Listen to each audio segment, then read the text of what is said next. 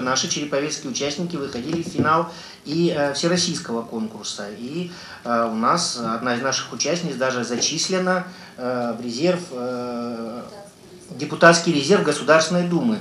Э, Российской Федерации благодаря законодательной инициативе.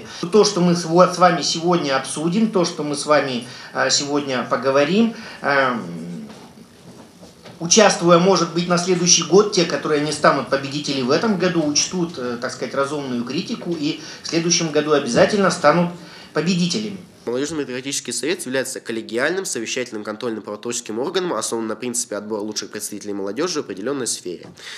Деятельность совета основывается на принципах законности, гласности, добровольности участия, равноправия членов и самоуправления. Ну, то есть все, как и должно быть э, в местном самоуправлении, все отвечает его принципам.